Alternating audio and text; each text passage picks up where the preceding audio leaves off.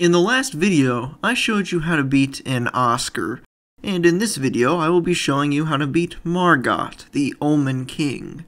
Depending on which route you've taken, this is probably your third encounter with him by now. Unfortunately, we can't file a restraining order and skip this fight, so I decided to make this guide detailing his most annoying movesets and how to deal with them. Keep in mind that I used a melee build for this fight, so the best strategies may differ for you depending on what kind of playstyle you have. His first phase is very similar to his original second phase from when you first fought him. He uses glowing weapons, like his throwing knives and hammer. This time, however, he will also use a longsword in his right hand. The sword doesn't do any elemental damage in phase 1, so you're able to block it with relative ease, so long as your shield has 100 guard absorption. It does do some bleed damage, however, although this wasn't a problem for me at all because the blood loss buildup depletes so fast. The thing to look out for are all of his glowing attacks. They do holy damage, which means that even if you are able to block those attacks with a shield, you'll still take damage through your guard. It may not seem like a lot at first, but after blocking multiple holy attacks in rapid succession, the damage adds up substantially. Because of this, rolling is your best option for this fight, although don't be afraid to block the occasional holy attack anyways, because it can still save your life. Scholar's Shield doesn't seem to add any additional benefit to elemental damage, but it does help you keep your stamina bar up, so it can still be pretty useful in this fight. His combos are quite fast, and rolling can be really challenging when you don't know his attack patterns. Unless you're a pro gamer, this is not a boss fight you can just walk into and get it on the first or second try. His moves are too fast and unpredictable, so I recommend going into the fight for the first few tries with a practice mentality. I did about 5 tries solely with the intent to learn his combos and movesets. By the end of those practice runs, I found that I was able to dodge roll most of his attacks a lot more easily, and found myself getting to phase 2 more reliably. He uses a lot of similar attacks in phase 2, so if you get good at dodging his attacks during his first phase, your chances of beating him during the second phase are much higher. The timing of his sword combos can be very difficult to get right. A major theme for this fight is rolling later than you think you have to, this boss seems specifically designed to punish panic rollers, so do not roll until you are sure he's about to swing. The thing to look out for is when he pulls out his glowing hammer. He typically does this towards the end of his combos. There's two moves with the hammer that he loves to use. The first is when he raises it over his head, and a moment later, slams it down on top of you. You can tell when he's about to bring the hammer down based on the positioning of his foot, It'll move right before he's about to slam, so I recommend dodging to his side, moving behind him, to get a couple of hits in during this part. It's usually a safe time to damage him, but occasionally he will follow it up with an attack immediately after, so wait for a brief moment and make sure he's not about to do that before trying to get multiple hits in. Another move he likes to use with the hammer is when he swings it around his body along with his sword. This means it's two hits in total, both coming from the same direction. If you roll too early, you'll dodge the sword, but the hammer will hit you.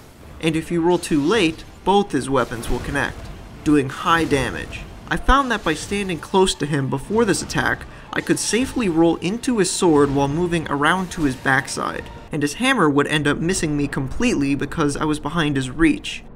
So ideally, one dodge will protect you from the first part of his attack, and you'll be completely out of the way for the second part of it. I usually hit him once or twice on his backside after he performed this move. There's one more attack with the hammer to look out for, but it's pretty easy to get the hang of it. He actually used it the first time you fought him. It's when he jumps high into the air and tries to bring the hammer down on top of you. When he's in the air, roll toward him. He will land behind you, so spin around quickly and you can usually get in a couple of good hits before he turns around and starts attacking you again. If you stand far enough away from him, there's three attacks you should look out for. One is his glowing spear. He'll raise it high over his head, waiting for a moment before throwing it at you. This attack is difficult to dodge because it takes him so long to throw it. Like the hammer attack, he'll lower his foot right when he's about to throw it at you. Roll later than you think you need to. Again, this seems to be the common theme for this boss fight. The good thing about this attack is his wind up time before throwing doesn't seem to vary at all. He takes forever to throw it every single time. Something I noticed is if you close the distance and stand right in front of him when he's about to throw the spear, he cannot hit you with it, leaving him wide open for multiple hits. Another range attack he likes to do is with his glowing knives. This is another attack he used during your first encounter with him. They don't do a lot of damage, but he has a habit of throwing them whenever you back up to drink a flask. If you put enough distance between you, there's a chance you can bait him into an easy attacking position. He'll jump towards you with his sword and a glowing spear, and try to land on you. Like the in-air hammer attack, roll towards him and he'll end up landing behind you, leaving him wide open to several hits. You can use an Ash of War to do a lot of damage to him when he does this. I tried to bait him into using this move as much as I could, and got him to do it two or three times in one go, getting in a lot of good damage. During phase 1, he has one charge attack where he'll conjure the glowing spear, but instead of throwing it, he'll run straight at you.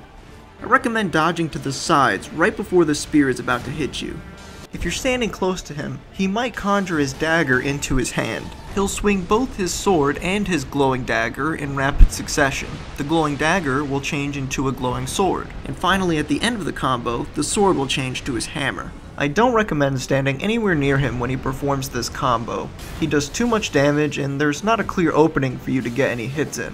So roll away, and use the time to heal and let your stamina bar recover.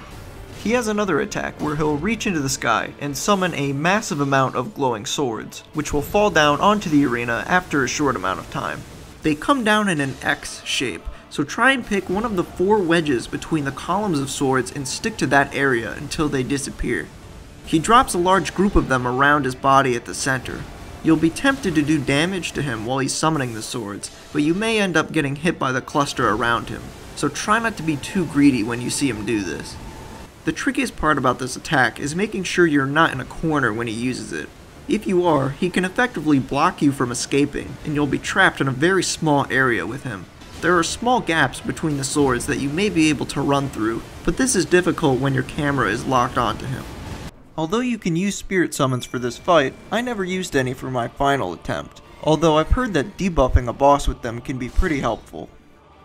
You'll know when you've made it to phase 2 when he falls to his knees. You will want to get some free damage on him, but he actually has a lot of damage resistance during his transition, and a few seconds later he will explode with a massive AoE attack that does an incredible amount of damage, so I don't recommend trying to hit him here. I suggest you back up and heal or rebuff any of your weapons in preparation for the next phase.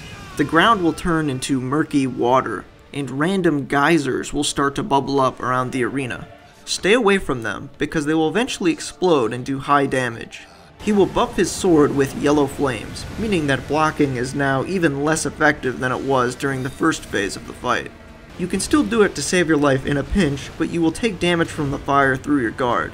So once again, if you want to avoid taking damage completely, dodging is your best bet. If you are not good at dodging when you enter this fight, I promise you'll be a lot better by the end of it. A lot of his combos are similar to his phase 1, but he uses them more frequently. And when he hits the ground with his attacks, he can spawn one of those geysers in the water. If you are moving around him in a circle, you will likely get caught in the delayed explosion if you aren't paying attention to your feet. He can also buff his blade with a red aura, inflicting bleed damage when he hits you. There are two attacks to look out for when his sword is red. The first is the most deadly. He will charge at you and try to run you through. This is his grab attack, and it does massive damage if he gets you.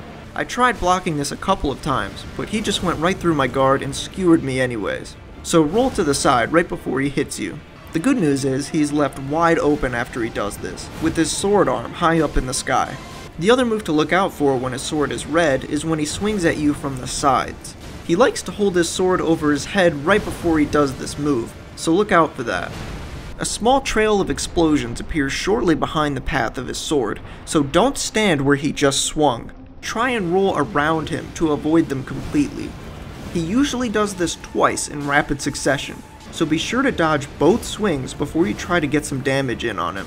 When his sword is red, it's easier to dodge and get damage on him, but he also does more damage to you, so it's high risk and high reward. When his sword is yellow, he likes to do non-stop combos, but a lot of them are just more intense versions of the one he used in Phase 1, which is why I recommended practicing your rolling before you seriously take him on. The better you are at dodging his attacks in Phase 1, the better you'll be in Phase 2. If I had one crucial piece of advice for someone who's stuck on this boss, it would be roll later than you think you need to. Remember, he holds his attacks for a decent amount of time before he actually swings at you. The worst thing you can do during this fight is panic roll. I have no doubt that the whole design reasoning for this boss is to punish those who have not mastered rolling yet.